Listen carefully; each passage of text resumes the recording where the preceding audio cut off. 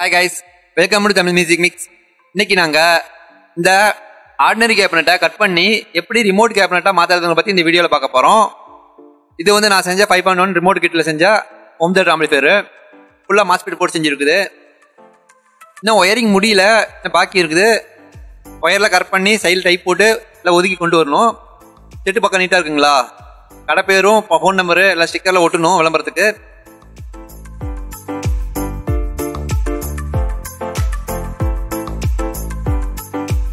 இது பார்த்தீங்கன்னா என் friend cut பண்ணிட்டு இருக்காரு இது யூஎஸ்பி போர்டுக்கான கட்டிங்கு யூஎஸ்பி போர்டுக்கான கட்டிங்கை ஒரு பேப்பரில் வரைஞ்சிக்கிட்டு அதை வந்து கேபினெட்டில் மார்க் பண்ணிக்கோங்க.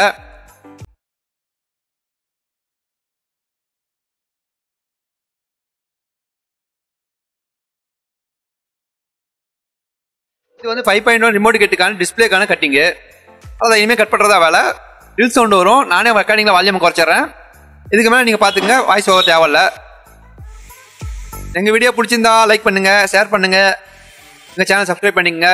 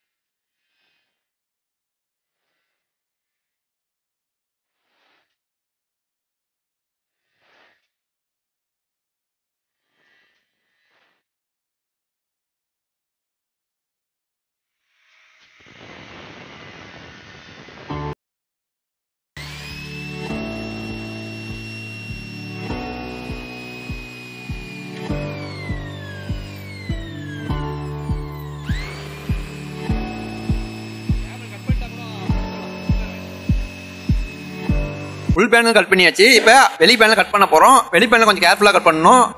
கொஞ்சம் அசிங்கமானாலும் வெளியே நல்லா தெரியும். இந்த பேனலுக்கு மேலே நாங்கள் ஸ்டிக்கர் ஒட்டிடுவோம். இது வந்து யூஎஸ்பி பொடுக்கான கட்டிங்கு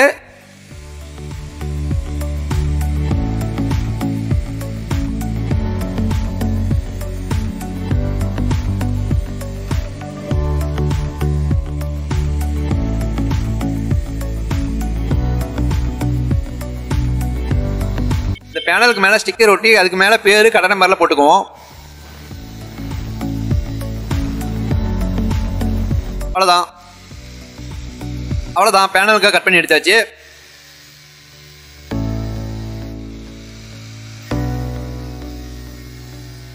மேலே இருக்க துருப்பெல்லாம் மோல்டு பண்ணி எடுத்துடலாம்.